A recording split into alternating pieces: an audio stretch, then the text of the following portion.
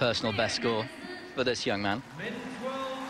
And uh, a World Championship gold medal hanging around his neck. And it just leaves a massive smile on my face because of what he brings us, the entertainment, the fun, his whole approach to the sport. Javier Fernandez of Spain.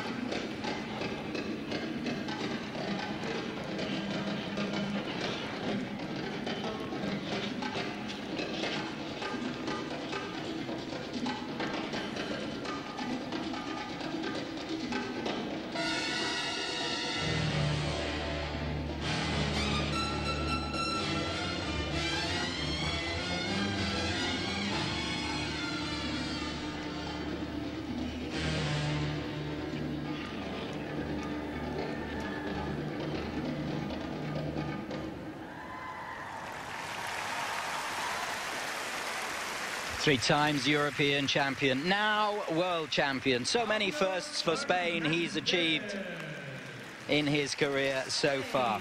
It wasn't the highest of scoring of men's world championships. That uh, honour would go to Patrick Chan.